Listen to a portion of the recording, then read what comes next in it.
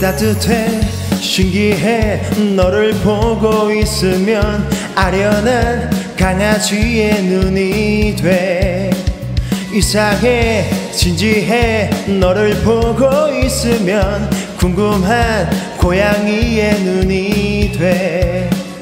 한강 저녁 8시 강아지와 산책을 핑계 삼아 나왔던 이유도 인스타에 올려놓은 수많은 사진들은 외로움의 크기 같아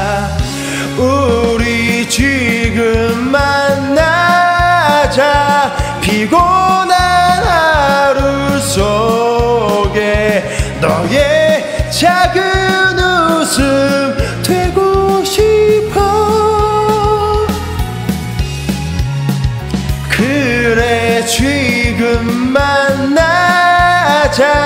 꾸미지 않아도 좋아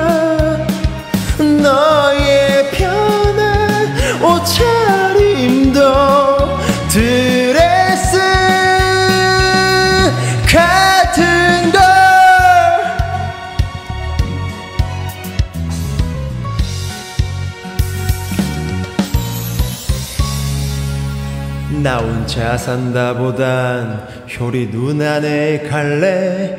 너 혼자만 두고 싶지 않아. 너의 얘기 듣는 게 너의 눈을 보는 게 TV보다 더 즐거워. 우리 지금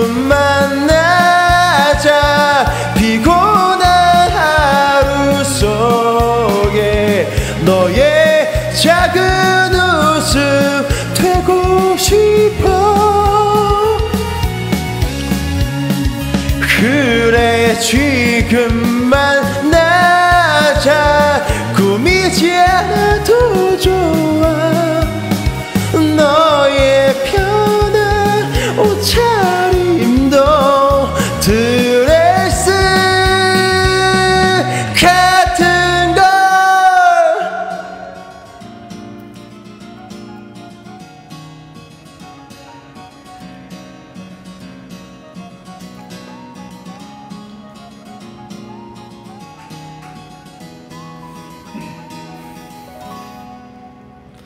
그래 지금 만나자.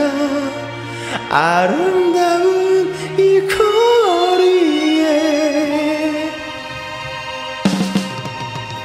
너와 내가 걸어왔던 오늘을 지금은